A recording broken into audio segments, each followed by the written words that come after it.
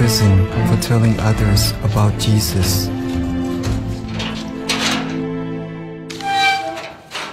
Muni, ikaw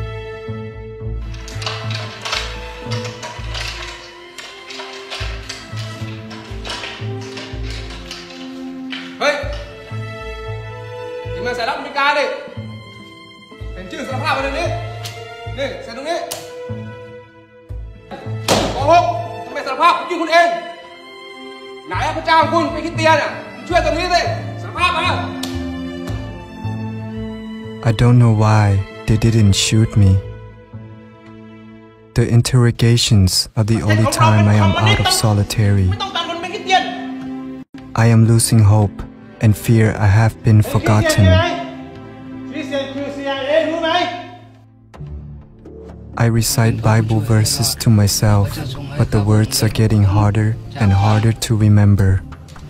I can handle the torture, the starvation, but I desperately need my Bible.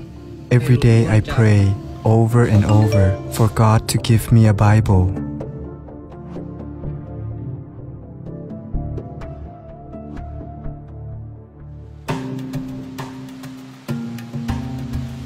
Now I have my chance. The interrogations have ended, and the guards trust me to go into the jungle to gather firewood.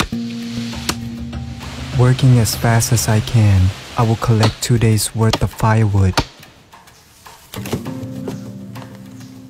I'll bring one bundle back. I leave the second bundle in the woods. This is what I need to do. It is very risky, but God is answering my prayer. I will risk everything to have a Bible.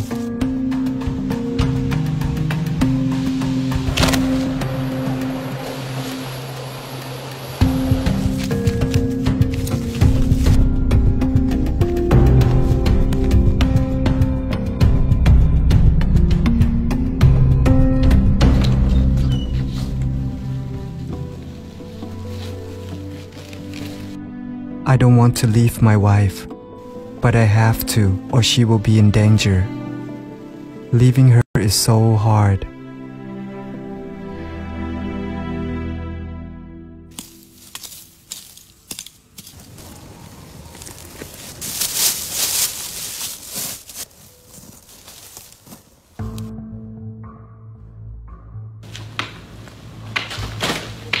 God has answered my prayer.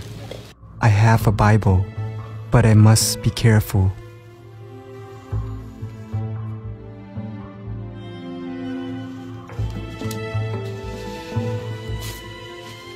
They found my Bible, but I would not give up.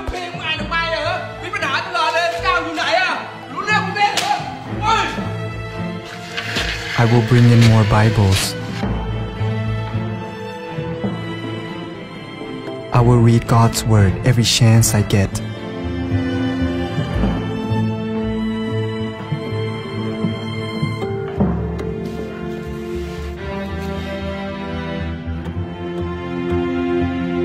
Then the letters นี่ came. อะไรนะคุณจันทร์ไม่รู้ได้ไงเนี่ยชื่อคุณมันจดหมายเนี่ยเนี่ยเนี่ยอะไรเนี่ยอะไรจดหมายจากทั่วโลกไอ้เนี่ย Letters from me.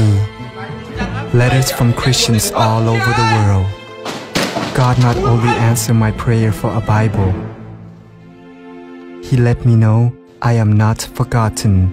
เวตคุกเพราะว่าอามาคนทั่วโลกและฮับเนืองโอแล้วเอาเพื่อนพระคัมภีร์โอนองยัดตุ่มเพาะตื้มตะคุกสิบปี โออ่านพึ่มพระคัมภีร์และพระเจ้านูนริเยมโอแล้วก็สู้สู้สู้สู้สู้อืม แล้วก็ขอบคุณพระเจ้า ขอบคุณอนาพี่น้องทั่วโลก ที่อธิษฐานอ่อนวอน เพื่อ โอ้และก็มู่คู่ที่นั่งอยู่ตะคุก แล้วก็ขอบคุณพระเจ้า ขอบคุณพี่น้องทั่วโลก